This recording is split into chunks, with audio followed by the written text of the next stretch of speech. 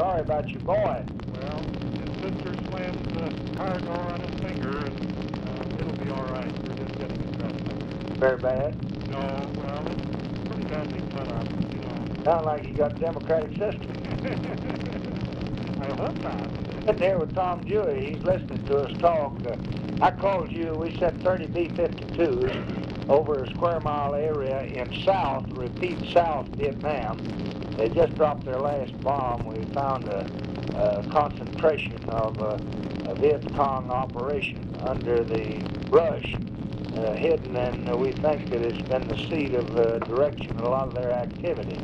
And there'll be uh, some excitement on the television and radio about B-52s, but uh, we, uh, our best advice, that's the only way we could get them. The fighter bomber couldn't take an area that big and coverage in time without their getting out. So we moved 52s in from Okinawa. I sent Goodpaster up uh, before the flight this morning to with General Eisenhower. He thought they ought to be done. He also thought we ought to approve uh, uh, Westmoreland's request for these uh, uh, troops uh, that he needs out there protect these bases because we're not going to be able to protect them with South Vietnamese. And uh, it looks like our B-52 raid is a uh, success at the moment. Did they use conventional uh, weapons? Yes, yes. They did. Oh. Uh, uh, I think this is good. I don't know what's happened. Laird, uh, is he uh, off his rocker? Well, uh, actually, the statement, uh, if it was read in its entirety, I don't think you would disagree with it too much. But they took one sentence out of 20, and uh, I think they distorted. The one question that I hope we can sit down and talk about before uh, we go any further is how much are we going to use the ground forces? I think that's the main question. Only when and if and as necessary to protect our national interest. And presently we have 12,800 of them up there, uh, down there. Uh, we will, uh, uh, it takes about a little better than three to two because the advisors, we have so many advisors and uh, uh, we uh, have so many uh, services and we're building airports, CBs and everything else.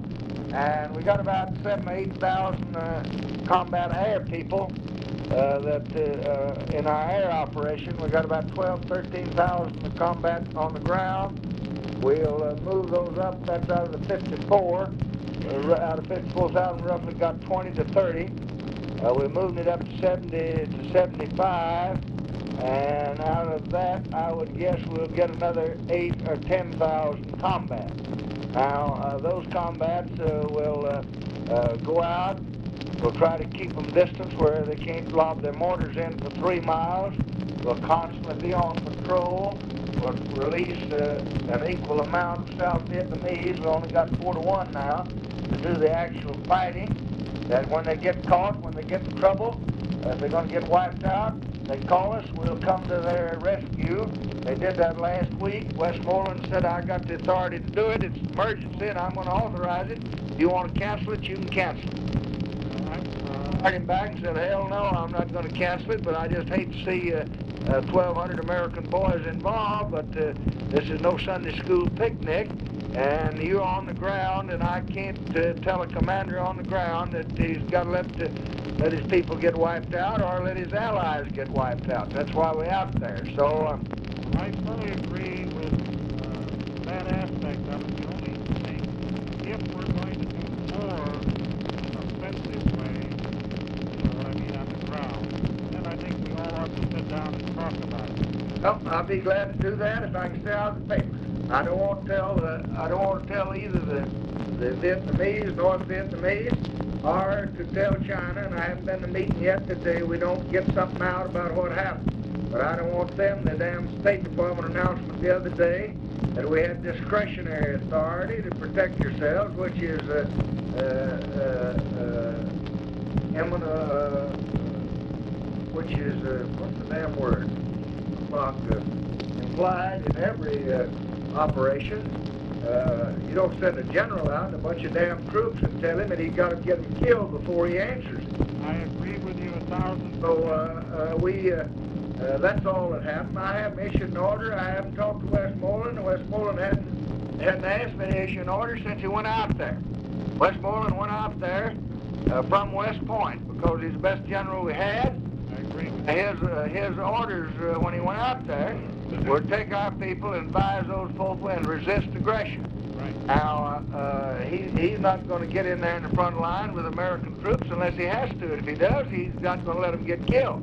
And that's that simple. Now, they ask this damn fool McCloskey over at the State Department, they ask you, like you talking about Laird, ask you to quit beating your wife. Either way, you answered in trouble. They said, uh, has Westmoreland got authority keep our American boys from getting killed? The answer is yes. Well, uh, when did Johnson give him that authority?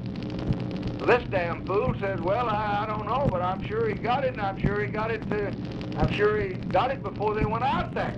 Well, they just arrived, you see, a bunch of them. So then the headline read, Johnson enters new phase combat war in uh, Vietnam. So when I looked at the damn paper, I called up and said, who's smoking marijuana around here? I haven't been in touch with Westmoreland, and I'm supposed to know what's happening. And think I do. Well, nobody is issued an order of any kind. So I came in the next morning and I said, here's a statement. I want you to put it at your 11 o'clock briefing. No order's been issued.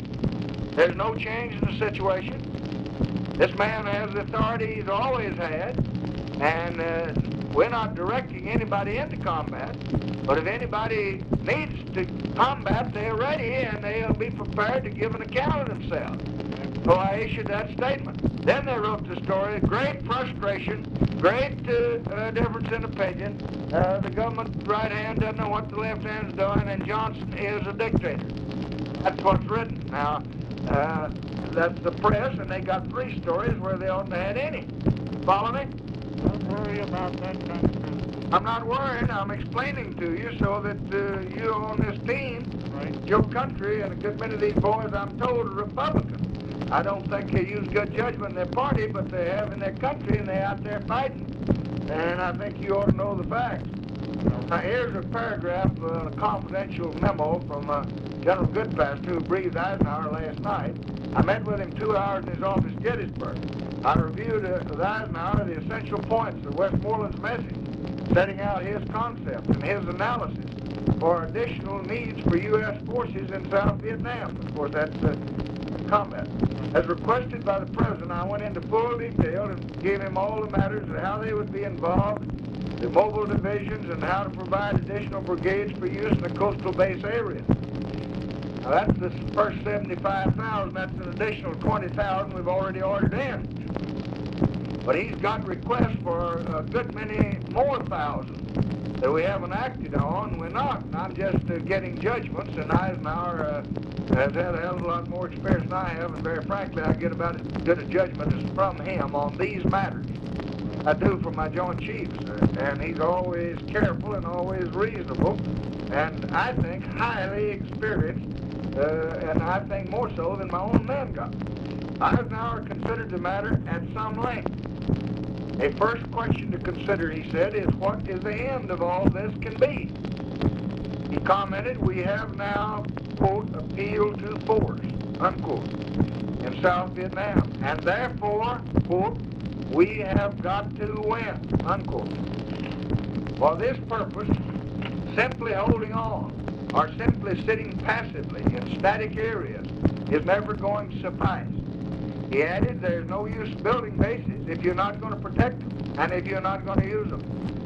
The only reason for creating them is to make it possible to take the offensive and to try to clear as many areas as possible. That's what we did this afternoon. He thought we should not only support Vietnamese forces in action, but he thought that we should undertake offensive operations ourselves. After some further discussion, he indicated that he believed Westmoreland's recommendation should be supported.